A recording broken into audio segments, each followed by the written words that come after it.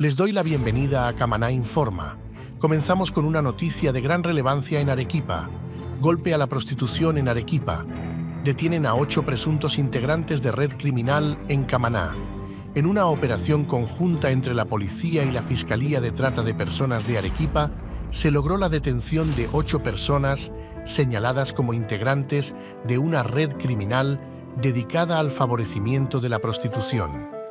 Según el jefe de la División de Investigación Criminal, coronel PNP, Fernando Portugal, el seguimiento a los locales de Luxe y las Sirenitas se llevó a cabo durante varios meses. En el operativo realizado el 24 de noviembre, se incautó una cantidad significativa de pruebas, incluyendo dinero, cuadernos y otros elementos relevantes. Las personas detenidas han sido identificadas como Iris Díaz Cegarra, de 47 años, Walter Javier Palomino González, de 49 años, Luz Mamani Fernández, de 37 años, Maidiuska Eudunei Delgado Peña, de 29 años, Roger Damian Ibarcena, de 39 años, José Carcurian, de 50 años, Roosevelt Quispevera, de 28 años, y Nauribet Salas Díaz, 32 años. Todos ellos están siendo investigados por presunto favorecimiento a la prostitución. El operativo de allanamiento e incautación de bienes se llevó a cabo en los locales de Luxe y Las Sirenitas, ubicados en el circuito de playas del distrito de Samuel Pastor, en la provincia de Camaná. Como resultado, se logró rescatar a 10 mujeres y se intervino a 17 varones.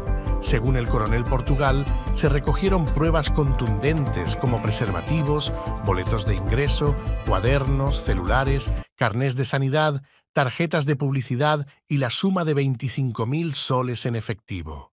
Las investigaciones policiales revelan que Maidiuska Delgado estaba a cargo de la atención al público y control de las habitaciones destinadas al servicio sexual. En el local, las sirenitas, Iris Díaz y Walter Palomino dirigían el establecimiento, teniendo a su cargo a dos mujeres como mozas encargadas de controlar las habitaciones para los servicios sexuales.